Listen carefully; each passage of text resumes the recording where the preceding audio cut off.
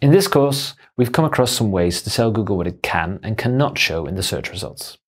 In this video, we're going to quickly explore some of the things Yoast SEO does to guide the search engines and make sure your site follows the Google guidelines. We'll first discuss a small feature called rel equals next rel equals prev. It's used when archives or posts stretch out over a couple of pages.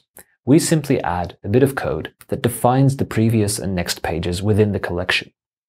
Consider this page, for example. It's the second page of one of our tag archives, in this case technical SEO. Let's now look at a fragment of the code in the metadata on that same page. Now what we do looks like this. In this example, the code simply indicates that the previous page in this archive is page 1, and that the next page in this archive is page 3. In the past, adding this code helped Google distinguish a collection of pages as a series, which in turn allowed the search engine to send users to the most relevant page, usually the first page of the archive. Recently, Google announced that Googlebot is smart enough to discover the next page by analyzing the links on a page and, therefore, a strong signal like rel equals next rel equals prev isn't necessary anymore. Our advice hasn't changed though. Yoast SEO will still take, take care of all pagination automatically, as other search engines still use it to discover content. Secondly, let's have a look at the hidden feature that deals with login and registration links. If you have a WordPress site, it's very common to have links like these on your website. However, they're not interesting for search engines because, well, they won't be able to log in or register, will they? That's why we make sure that search engines don't follow these links by adding a nofollow tag.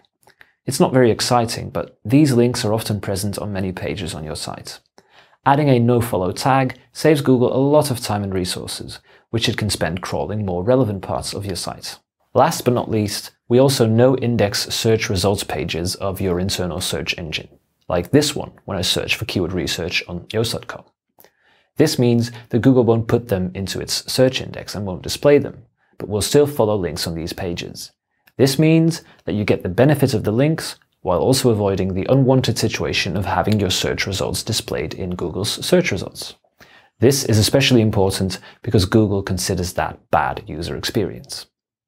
So, all these features help guide the search engines. However, to truly, truly understand your site, search engines need something more. They need structured data. It's quite a difficult topic, but it can make a world of difference.